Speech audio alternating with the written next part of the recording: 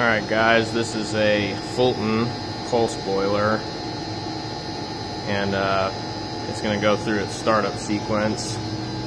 You'll get to see and hear what it sounds like when this thing lights off and see what it sounds like when it's running at 100%. So it's going to go through its pre-purge for about 35 seconds.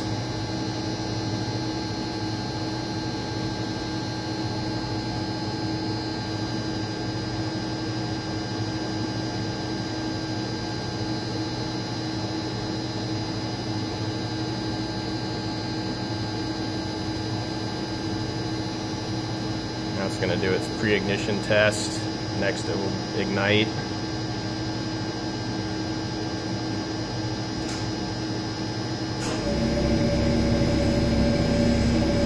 So now it's lit. It's going to let the flame stabilize. See our flame voltage right here. And now it's going to modulate down. So, we go around back,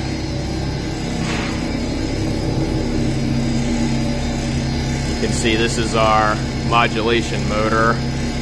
So there's a butterfly valve in the gas line and the exhaust outlet that opens and closes based on what it's the rate it's firing at. You can see this motor drives both the gas and the exhaust outlet through these arms.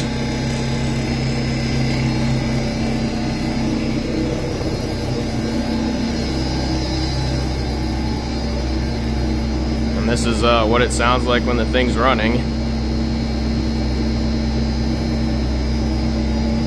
And if we go here, analog, see our outlet water temperature, our firing rate, and our flame signal.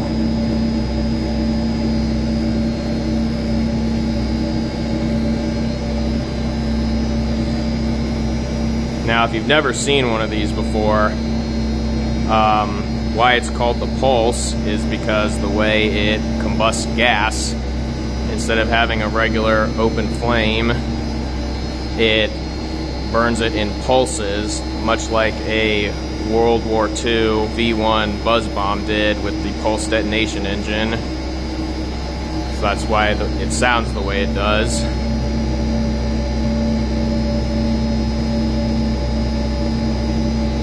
Got a couple other things unique to this type of boiler. You can see that there's flexible connections on the gas. There's flexible connections on the water. Um, it's sitting on these isolation cubes and there's mufflers in both the exhaust and the air intake.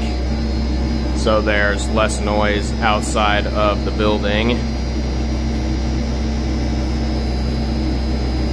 And being that it is a condensing boiler you have a drain and a trap that goes to a floor drain right here a little condensation coming out right there.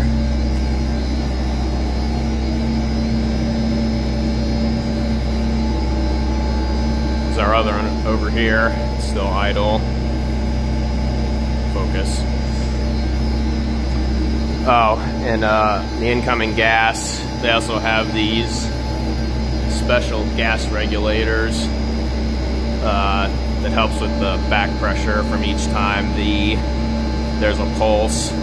So each one of those pulses of the flame happens like hundreds of times a second. And that's where you get your heat from.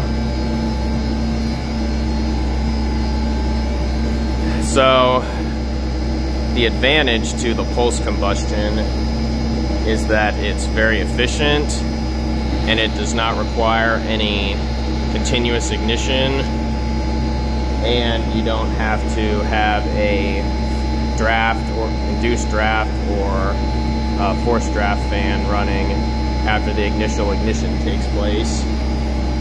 So it went through its pre-purge, but now that fan won't run again until the post-purge. And so each pulse ignition of gas and air will keep the, the cycle going until it's done running.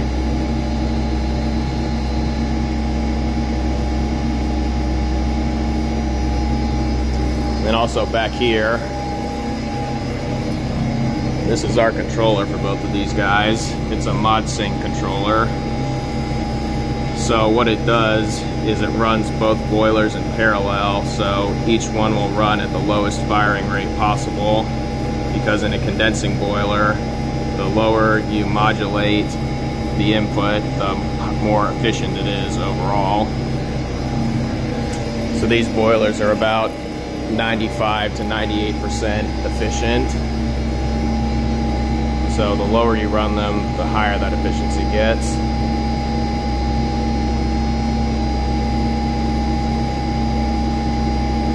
And I can show you inside of one too. Give me just a second. So here's what it looks like inside of one. Inside of here is your air flapper. And then of course you got all your relays and controls, and your pressure switches. And there's your main controller right there. And that's pretty much all there is to it.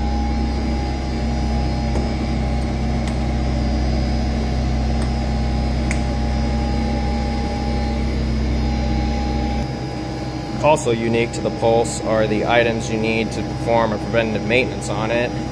So here's your igniter. It's just a regular, uh, well, it's similar to an automotive spark plug. So this will spark only during the initial light off, and then after the flame is established, it will shut off. So there's that. Got some water level sensors, your flame rods, and these are your gas flapper gaskets. And down on the bottom here are your air flapper gaskets. So those gaskets are what uh, allows the thing to pulse in and out like that. And that's how you get that pulsing action.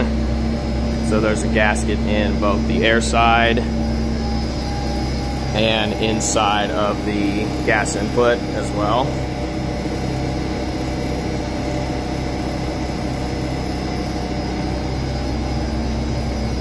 And this boiler is 750,000 BTUs maximum. Alright guys, that's just a quick look at a Fulton Pulse combustion boiler.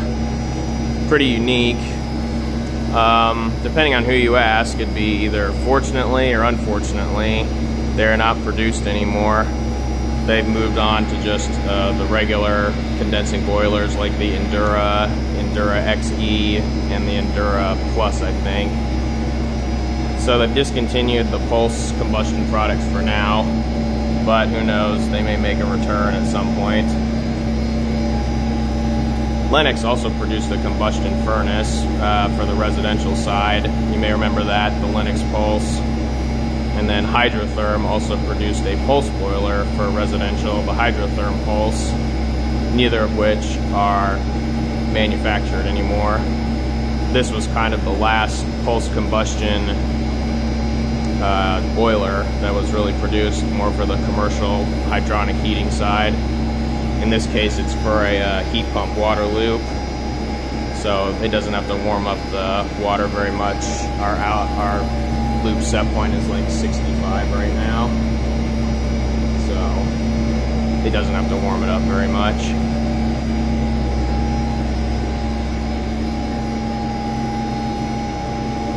Alright guys, like and subscribe for more, and thanks for watching.